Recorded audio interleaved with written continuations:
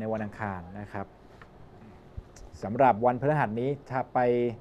เจรจาการค้าธุรกิจติดต่องานอะไรต่างจะเป็นยังไงกันบ้างนะฮะมาดูกัน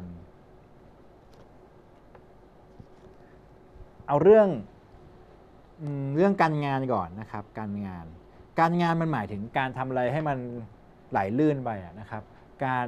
คลี่คลายปัญหาการเจรจาการประนีประนอมนะครับการตกลงกันนะครับหรือว่าการแก้ไขอุปสรรคต่างๆ ให้มันผ่านพ้นไปได้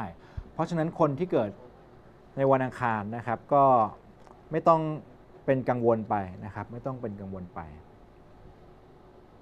ไม่ต้องเป็นกังวลว่างานเราจะมีปัญหามีอุปสรรคมันมีอยู่แล้วแหละนะครับ แต่ว่ามันมันสามารถที่จะจัดการได้นะครับ ไม่เกินกำลังนะครับ คนที่ทำงานเกี่ยวกับพวกความคิดริเริ่มสร้างสารรค์ใช้ไอเดียอะไรพวกนี้นะครับก็ไปได้ดีด้วยเช่นเดียวกันนะครับคนทำธุรกิจเนี่ยก็จะมีการพูดคุยการเจรจาธุรกิจนะครับการสั่งจองสินค้าการการตกลงกันล่วงหน้านะครับ ก็ถือว่าค่อนข้างดี ส่วนเรื่องการเงินนะครับ ยังอยู่ในเกณฑ์ปานกลาง พอมีพอเพียงพอกินพอใช้นะครับแบบสมถะนะครับค่อยเป็นค่อยไปนะครับส่วนเรื่องความรักนะครับ ก็ถือว่ามี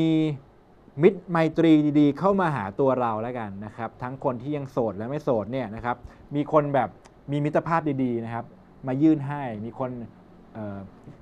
มีความสัมพันธ์ดีๆ มายื่นให้นะครับ มีความรักความเมตตาเอ็นดูนะครับเข้ามาหาตัวเรานะครับ ก็ถือว่าเป็นจังหวะดีๆสำหรับผู้ที่เกิดในวันอังคารแล้วกันนะครับ สามารถติดตามเคล็ดลับดีๆ ในรายการผ่าดวงรับทรัพย์กับอาจารย์ทิพยาน ได้ที่